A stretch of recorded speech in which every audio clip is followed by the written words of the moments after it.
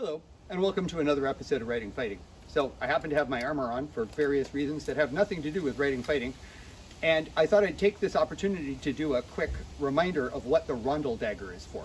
So, this is a rondel dagger. Notice that it has round fittings, which is what gives it its name, and those fittings exactly match up with my gauntlet so that basically I am now a steel fist with an ice pick in it.